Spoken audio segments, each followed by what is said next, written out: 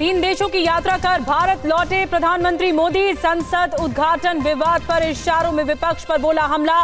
कहा ऑस्ट्रेलिया में चाहे पक्ष हो या फिर विपक्ष, उत्साह और उमंग के साथ भारतीयों के कार्यक्रम में शरीक हुए थे। ये लोकतंत्र है।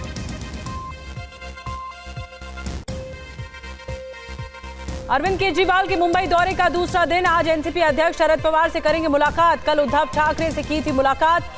अध्यादेश के खिलाफ विपक्ष को एकजुट करने की कवायद। हैदराबाद में दिल्ली श्रद्धा हत्याकांड जैसी वारदात, सात लाख रुपयों के लिए मकान मालिक ने महिला किराएदार की हत्या कर डाली। धारदार हथियार से महिला के शव के कई टुकड़े किए। शव के टुकड़ों को करके फ्रिज में रखा, आरोपी गिरफ़्तार। महाराष्ट्र के तीन शहरों में आग ने मचाई तबाही। पुणे में लकड़ी के गोदाम में लगी भीषण आग। चेंबूर में कमर्शियल बिल्डिंग में आग का कोहराम। ठाणे में स्क्रैप गोडाउन जलकर हुआ खाक।